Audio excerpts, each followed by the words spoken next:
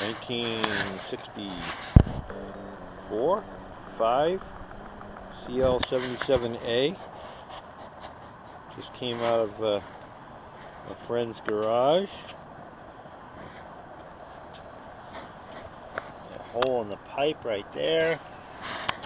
No battery, no air cleaner. There's the serial number CA77E 401909.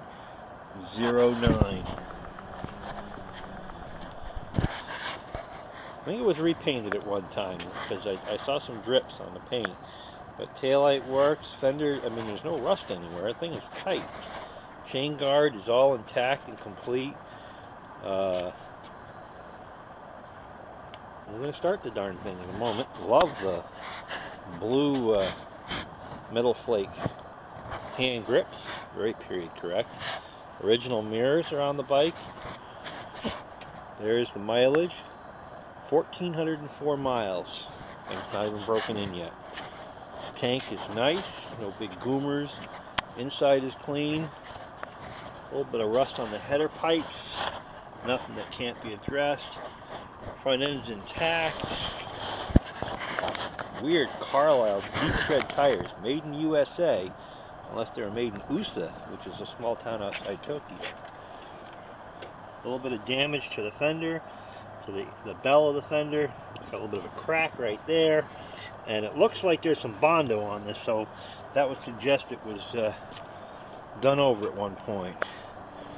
So let's see if we can put some electrons to it.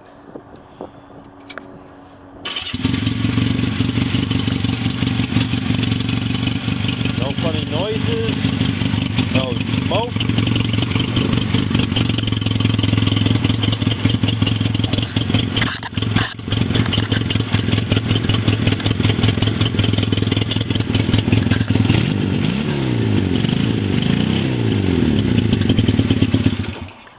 Well, it doesn't help that the spark plug wire is kind of cheesy, but that's okay.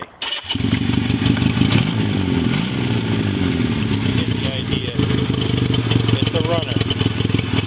Missing the headlight. Horn wants to work, but it runs. So there you go.